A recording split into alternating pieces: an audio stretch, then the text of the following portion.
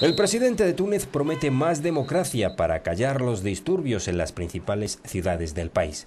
En un mensaje televisado a la nación, Ben Ali ha afirmado haber entendido las demandas del pueblo y ha prometido que emprenderá cambios profundos para acometerlas. Necesitamos un cambio radical, ha dicho. Lo he comprendido. He comprendido a todo el mundo, al parado, al necesitado, al político, a quienes piden más libertad. He comprendido a todos, pero la violencia que estamos viendo estos días no es propia del pueblo tunecino.